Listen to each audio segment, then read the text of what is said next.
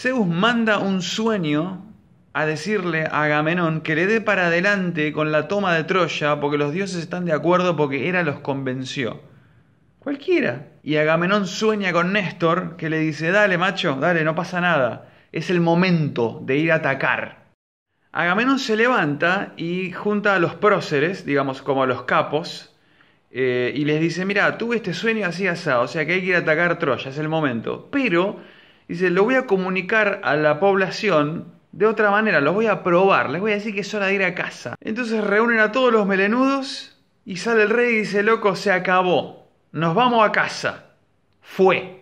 Y todo el mundo se empieza a ir a la mierda, se empiezan a subir a las naves, se preparan como para volver a casa. Y Hera, que estaba viendo todo desde arriba, le dice a Atenea, escuchame una cosa, abajo de lechuza, ¿por qué no bajás y frenás este éxodo masivo que no, no da?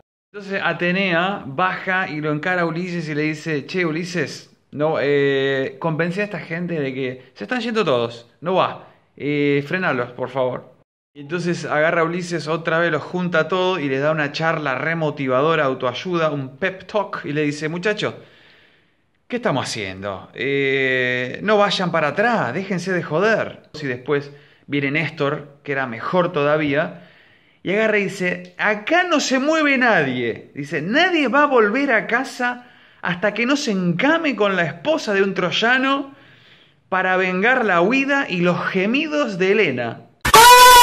Eh, después de que todos fueron convencidos de quedarse y no volver, Agamenón dice, bueno, que empiece la fiesta, vamos a prepararnos para ir a la guerra, así que vamos a armar unas hecatombes, pongan música, saquen vino, vamos a prepararnos un fernet y entonces ahora viene la enumeración de las embarcaciones que básicamente consiste en que todo el mundo se alista, agarran los escudos, agarran los cascos, agarran la espada, toda la familia, todas las tribus se preparan para ir a la guerra.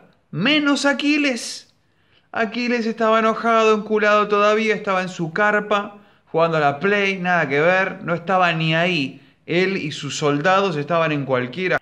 Y entonces Zeus manda a Iris como mensajera a avisarle a los troyanos de lo que se avecina, digamos, que los aqueos están no solo listos, sino que están ya caminando, los están yendo a buscar. Entonces Iris se va al palacio del Príamo y lo ubica a Héctor, que era como el grosso de los troyanos, como, era como el Aquiles de los troyanos, y le dice, muñeco, prepárate porque se te viene una